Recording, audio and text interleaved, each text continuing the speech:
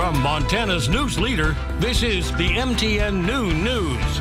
Good afternoon and thanks for joining us on the Noon News. I'm Diane Parker. Jason Stiff has our Thursday forecast. Plus, there's a potential record setting giant pumpkin here in Montana. But first, our top story.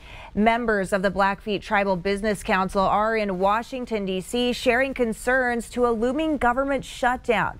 The Blackfeet tribe uses federal funding to operate government offices, fire, medical, and police. Congress must pass a federal budget or a continuing resolution to keep the government afloat. October 1st starts the new fiscal year. Tribes in Montana will operate on a continuing resolution if Congress cannot reach an agreement. That order is a small percentage of the previous year's budget for essential employees for 30 days. The tribe says the implications of the shutdown are unacceptable due to its treaty obligations for essential services. Well, it's not going to just affect tribes. It's all lower income people that are going to be affected by this by this shutdown. And you got you have veteran benefits that won't get paid, Social Security that won't get paid, or I, am I'm, I'm supposing. But um, yeah, this is this is a big major deal. The Crow tribe is also in D.C. advocating. An important Native American cultural ceremony criminalized by the U.S. government in the late 1800s is being recognized in Helena this week. MTN's Tom Buchanan has the story. This Wednesday afternoon, elder of the Little Shell tribe, Daniel Pocha, helped commemorate a plaque at the Lazy Green. The plaque commemorates a 1908 Sundance that took place in the spot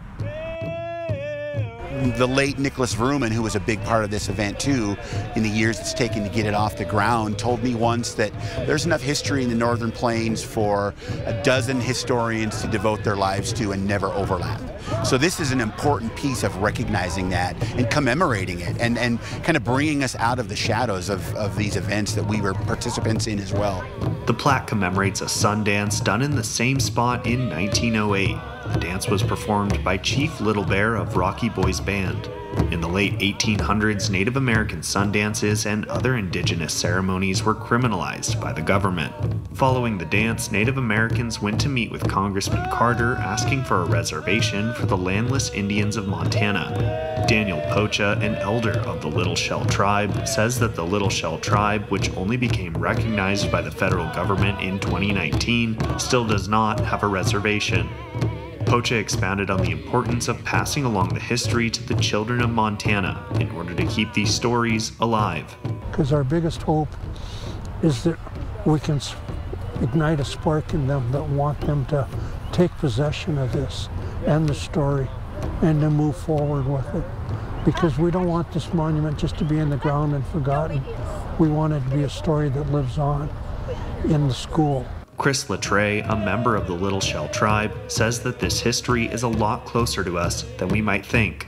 Well, when we think about some of the things that happened in the early 1900s or late 1800s, we think of that as ancient history, and it's not. We're talking, in my case, three generations from the last people who hunted wild buffalo on the plains, and that's not that long ago. Reporting in Helena, Tom Buchanan, MTN News. A Polson man is behind bars this noon, charged with stabbing his mother, who had dementia, to death, then hiding her body in her home. The heinous crime happened back in August. Prosecutors say Garrett Vasca stabbed his mother, Felisa St. John, multiple times with a knife, then concealed her body by wrapping her in garbage bags and blankets and hiding her in a bedroom. His arraignment is scheduled for September 28th.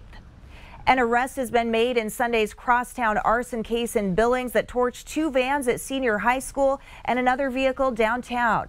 33-year-old Calder Strandman is behind bars, arrested yesterday and facing felony criminal mischief theft and arson charges. Police believe the fire started after a botched attempt to siphon gas. Federal prosecutors are seeking a more than 11 year prison sentence for a Dillon man convicted of assaulting police at the January 6, 2021 riot at the U.S. Capitol. Isaac Steve Sturgeon was seen on an officer's body camera outside the Capitol and was part of a group that picked up a metal barricade and shoved it into a group of D.C. Metropolitan officers. He was found guilty in a bench trial on a half dozen charges, including assaulting an officer and committing an act of physical violence on Capitol grounds. Federal prosecutors are recommending an 11 year, three month jail sentence and a $2,000 fine. Sentencing is set for next Tuesday. And that's a look at some of the day's top stories.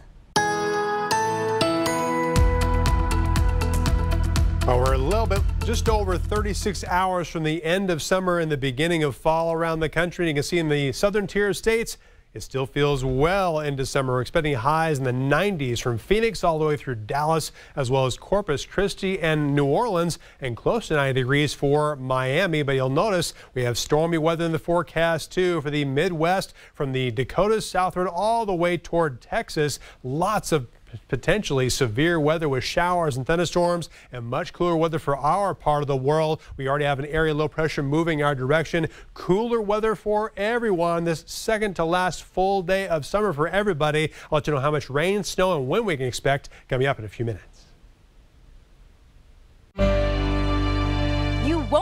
To far to find the great big pumpkin as it's right here in Lockwood. The man who grew this gorgeous gourd believes it might be the largest ever grown in the state of Montana. Get on my back. Whether it's playing with his pup Jiffy. There you go. Okay, jump off. Or going out for a hunt. Right now it's birds, but I'll be elk hunting soon. 30 year old Joe Nigro has a lot of passions in life. I think positivity will feed this pumpkin. But none are as unique as his love for growing giant gourds. I've just been intrigued intrigued with it my whole life, so how could you not be? It's been three years since the insurance salesman brought his pumpkin passion to life.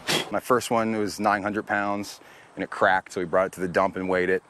Last year it was 554 and it got fifth place in Wyoming in a Wyoming weigh off, so and this is year three. Instead of smashing pumpkins, he's trying to smash a record. July 5th is when this flower was pollinated and it was just this big. So this is like a 70, 77 day old pumpkin. This year three pumpkin is estimated to be over 1,300 pounds. It's over the state record. It just needs to stay true to measurements is all. And we got to make sure no one else grows a bigger pumpkin this year. Since 1,258 pounds is the current pumpkin record for Montana. And then you just bring it down. He's got a pretty gourd shot with his Atlantic giant pumpkin. It came from a pumpkin that was 2,058 pounds, uh, grown in Connecticut.